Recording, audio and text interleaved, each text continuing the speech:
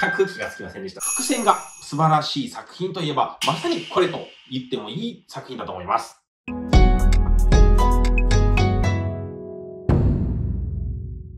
毎度漫画オタクのアイキーです。皆さんこんにちは。さて、本日のお題はこちらです。伏線がすごい漫画4選。漫画といえばですね、作品内にたくさん散りばめられている伏線を見つけていくっていうのも楽しみ方の一つでありますね。結末に向かって伏線が散りばめられているというような作品はたくさんありますけども、そんな中でもですね、ま特に伏線の張り方だったり、回収の仕方だったりがとても良かった作品の中から4つピックアップしてお伝えしたいと思います。すでに知っている伏線が出てくるのか、はたまたまだ知らない伏線を紹介させていただけるのか、この動画で確認してみてください。作品のね、紹介とともにいくつか伏線をピックアップして紹介していきますので、ネタバレ全開の内容となっております。まだ見ぬ作品をご覧の方は気をつけて心してみてください。では、まず一つ目の作品からご紹介いきましょう。一つ目はこちら。五等分の花嫁。はい。わずと知れたジャンプの大人気ラブコメ作品の一つですね。これはですね、結構貧乏な家庭に育った秀才の男の子の主人公、風太郎くんがですね、問題だらけの五つ子ちゃんのヒロインたちと出会いまして、まあ、その中のうちの一人と将来結ばれるというお話なんですけども、まあ、作品の中でね、五人の家庭教師となっていろんなことを教えていって絆を深めていくという話なんですけども、五つ子でね、五人同時にヒロインが出てくるという結構異色の設定だったんでね、なかなかあの面白い設定と内容だったと思います。で、読者もね、読者として読んでる間は一体最後に誰がこの、ね、主人公と結ばれるようになるのかっていうのがもう気が気でないというかね、まあ、このストーリーの大筋となっておりましたけども、まあ、そんな中で、もう全部終わりましてですね、まあ、もちろんこの結末を迎えて最終的に選ばれましたこのヒロインの女の子が、なぜ選ばれたのかというとね、この途中のストーリーの中でいくつもこの女の子が選ばれるであろうというね、伏線というのが実は散りばめられていましたので、まあ、それをね、振り返ってみてみたいと思います。さあ、ここからはもう完全ネタバレなんですけども、結果的にね、あの、最後主人公と結ばれるのは、5つ子のうちの4番目のね、四つ葉ちゃんと、まあ、結婚することになるわけなんですけども、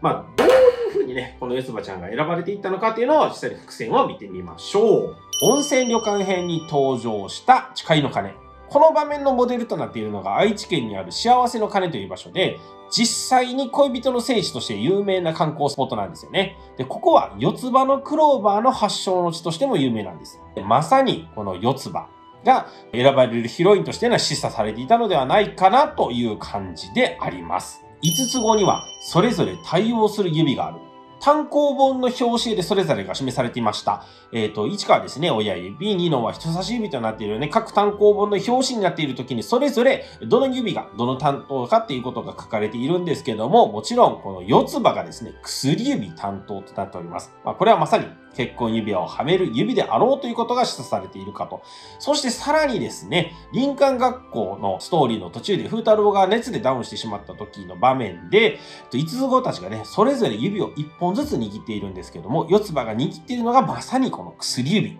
風太郎との結婚という関係で繋がれるのは四つ葉であるということをイメージしていたのではないでしょうか。五択問題では4番目に正解がある確率が高い。2学期の中間テストで風太郎が教えた試験のコツですね。5択問題では4番目に正解が来ることが多いということから、まさに5人の中から4番目のヨスバが選ばれるという暗示だったのではないでしょうか。5つ子の名前に愛。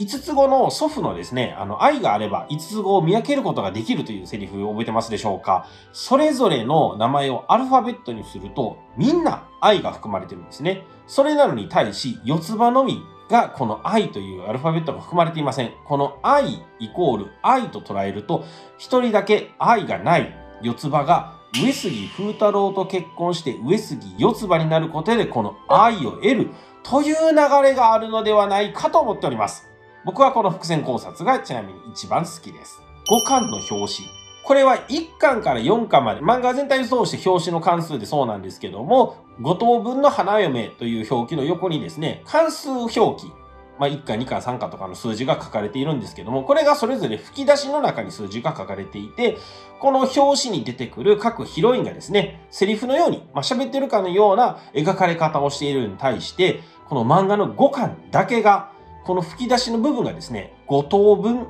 との花嫁の間を区切るように入ってるんですね。これによって5巻の表紙が五等分5の花嫁、まさに五等分5の花嫁と読めるのではないでしょうか。つまり5巻の表紙を飾っている四つ葉こそが様々なイベントを経て風太郎の魅力を5等分した後の花嫁であると表しているのではないかと考えております。さあ、本作5等分の花嫁で、この四つ葉が選ばれるっていう伏線をいくつか紹介させていただきました。皆さんはね、これ読んでる時にこの伏線気がつきましたでしょうか？ちなみに私は全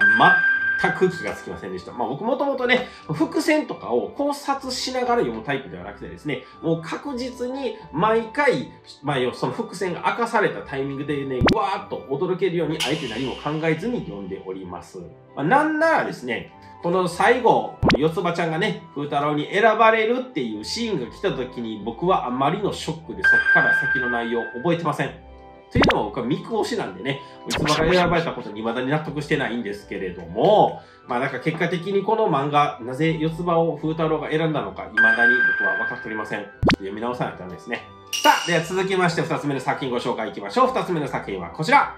カナタのアストラ。これは少年ジャンププラスに掲載されていた SF 作品ですね。読んだことある方はいるかもしれないし、いらないかもしれないんですけども、漫画以外にもアニメ化もされていますね。ちょっと話のね、内容というか展開的になるべくネタバレなしでお伝えしたいと思いますので、ギリギリネタバレしない範囲でどういった伏線がこの話に含まれていたのかというのをお伝えしたいと思います。まずこの作品、西暦2063年の近未来が舞台で、高校生の主人公たちが学校が主催している惑星キャンプに参加して、遠く離れた惑星マクパに数日間生徒たちだけで過ごすというところからお話が始まります。キャンプ先の惑星で事故に遭ってしまい、なんとか自分たちの力だけで帰還を目指すというお話でございます。主人公たちの出自に関する設定。B ご飯の人たちは実は、だった。という衝撃の事実ですね。作中で伏線として描かれていたのは、B ご飯全員が何かしらの特別な能力を持っていること。アリエス以外は親から愛情を受けていない。キトリーとフニシアが義理の姉妹なのに似すぎている。シャルスとアリエスの笑い方がとてもよく似ている。などなど、後でね、読み返してみると見えてくる伏線が序盤から多数散りばめられていました。読んでる時は全く答えにたどり着けなかっただけに、これは素晴らしい伏線だったと僕は思います。黒幕の話。これは最初の事故にあってすぐの段階でメンバーの中に裏切り者がいるというお話になってますね。この犯人が誰か分かった時に作中でどうやって犯人を特定したのかという説明がされています。その特定方法を聞きながら見返してみると、確かに犯人特定につながることが実は少しずつ序盤から描かれていたことが分かりました。想像していたのとはだいぶ違うキャラクターがこの幕だったので、このアイキーも驚きましたね。この世界の歴史。これに関しては私、アイキーも割と早い段階でなんだかおかしいなとは思っておりました。ポイントはこんな感じですね。近未来 SF 設定なのに、やたらと年号が近いこと。作中で2019年に世界規模の戦争が起こり、文明が崩壊してから再建して2063年になるわけですけども、それにしてはボロボロの状態からわずか50年でこんなになるかと私自身も少し違和感を持っておりました。主人公たちが自分たちの世界の歴史や過去についてほとんど興味を持っていない点。一見前向きな若者たちと捉えられそうな設定なだけに、私も後半までこの点に関しては違和感を感じませんでしたね。他にもこの歴史観につながる伏線が実はいくつもありました。タイトルと物語の背景について。この漫画のタイトルに込められた本当の意味に私は最後まで気がつきませんでした。序盤にアストラ号と名付けた宇宙船を手に入れることで、この漫画のタイトルに何の違和感も感じさせない作者の巧妙なミスリードに物語の最後の方で分かった本当の意味に僕は驚きました。こんな感じでね、紹介させてもらった通りなんですけども、この作品は物語の序盤からエンディングでかけてですね、もう数々の場面で、このストーリーに関わる重要な伏線が散りばめられているという、とてもね、素晴らしい伏線を配置した漫画作品でした。では、3つ目ご紹介していきましょう。3つ目はこちら。オットタクシー。この作品はですね、もともとオリジナルアニメとして、まあ、アニメがテレビ放送されていたんですけども、それをコミカライズしたのがこの漫画となっております。まあ、なのでですね、まあ、もちろん漫画を手に取ってもらってもいいですし、アニメの方を見てもらってもいいんですけども、とてもね、あの、素晴らしい作品なので、ぜひ見ていただきたいなと思います。この作品の面白いところはなんですけども、登場人物が全て何かしらの動物なんですね。まずこの主人公はね、小戸川っていう生物地なんですけども、まあそれ以外にもね、猿だったり、猫だったり、ラマだったりとか、そういったね、様々なね、まあ動物が、まあ人間のようにね、生活しているという風に設定になっています。動物たちが、まあ生活しているんですけども、舞台はこの現代の東京という感じでね、物語が設定されております。平凡な毎日を送るタクシーの運転手、小戸川。身寄りはなく、他人とあまり関わらない、少し偏屈で無屈な変わり者です。趣味は寝る前に聞く落語と仕事中に聞くラジオ。一応友人と呼べるのはかかりつけである医者の剛力と高校からの同級生の柿花くらい。彼が運ぶのはどこか癖のある客ばかりで、バズりたくてしょうがない大学生の辛さは、何かを隠す看護師白川、いまいち売れない芸人コンビホモサピエンス、街のゴロつきドブ、売り出し中のアイドル、ミステリーキッス、などなど、何でもないはずの人々の会話は、やがて失踪した一人の少女へと繋がっていく。まあ、そういった感じのね、あのミステリー作品となっております。この失踪した少女っていうのに関するミステリーのね、伏線が序盤から最後までいろいろとね、散りばめられているんですけれども、これが最後のね、あのラストシーンというかね、最後のと話のところでぐわーっと全部集まってきて、そこまで来た、あ、なるほど、ここはこういう風になってたんだっていうことがわかる、とてもね、素晴らしい伏線がいっぱい配置されたミステリーサスペンス作品となってますね。ミステリー作品なんでね、全部読み終わって、あ、これはなかなか良かったなと思う伏線を一つだけね、ちょっとギリギリ内容がわからない範囲でお伝えしたいと思います。この作品の説明の一番最初で出てきた通り、登場人物が全員動物なわけなんですよね。これがなぜみんな動物なのかというのが、この物語全体の重要なパーツで、何も考えずにこの作品を見終わるとですね、最後に作り手からうまくミスリードされてここまで読んできたんだなということが感心するような内容になっています。なので、この登場人物が全て動物だということを心に留めて読んでもらうととても面白いと思います。さて、最後にご紹介するのは皆さんもご存知のこの作品、進撃の巨人。連載開始当初から漫画が最終回に至るまで、そして先日アニメが最終話に至るまでずっと人気作品にあり続けた本作品なんですけども、伏線が素晴らしい作品といえば、まさにこれと言ってもいい作品だと思います。人間を襲う巨人が跋扈する世界で、人類は壁の中に閉じこもって生き延びていた。そんな仮初めの平和が100年続いた後、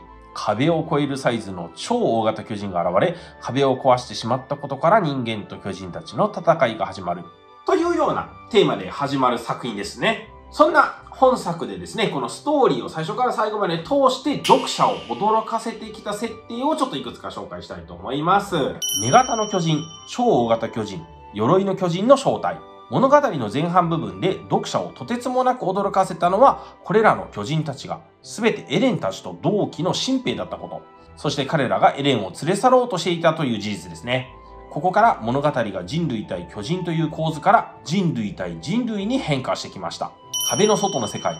エレンたちが知っていた常識とはまるで違う世界が壁の外には広がっていました。壁の中の人々のルーツと外の世界の人々との確執が明るみになって自分たちが何のために戦ってきたのか、これから何をなさなくてはいけないのかなど、主人公たちが培ってきた価値観を大きく変えざるを得ない。本作の秘密がたくさん明かされてきた中盤でした。各々が目指した未来の形、ジークが目指した未来、ミカサたちが目指した未来、そしてエレンが目指した未来。それぞれの思惑が複雑に絡み合った物語の終盤。最後の最後までどのように物語が決着するのか先が読めない展開でした。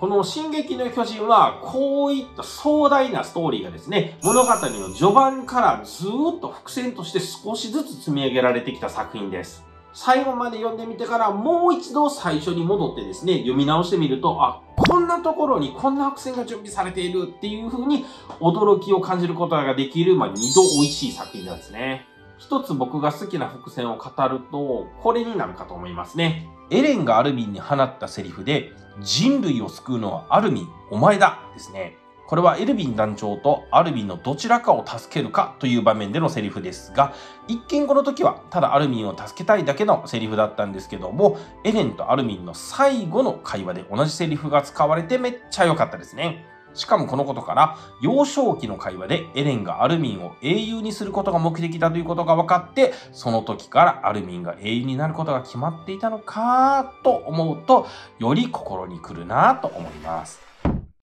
さあ皆さん、今回は伏線が素晴らしい漫画作品を4つご紹介させていただきました。いかがでしたでしょうか？すでにね、読んだことのある作品は、あどんな伏線が隠されていたんだろうかと思いながら読み返してみるのもいいですし、まだ読んだことのない作品がありましたら、これを機にぜひ手に取っていただきたいと思います。いやー、漫画って本当にいいもんですよね。それでは皆さん、さよなら、さよなら、さよなら。